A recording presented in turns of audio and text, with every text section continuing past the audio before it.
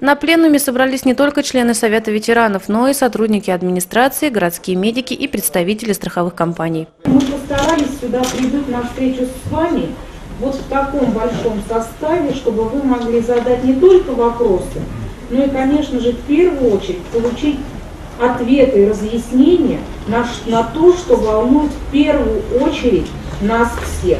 Состояние медицинского обслуживания обсуждалось неоднократно на заседаниях Совета ветеранов города, на совещаниях комиссии по здравоохранению.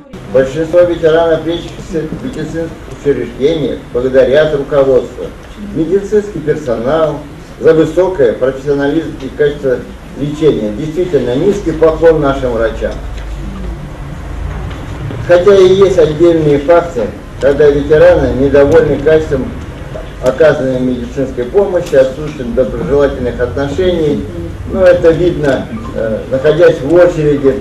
Все сидят вот в поликлинике, все довольны, все нормально, но кто-нибудь обязательно скажет, а вот меня обидели, что обидели. Когда начинаешь разбираться, все получается нормально.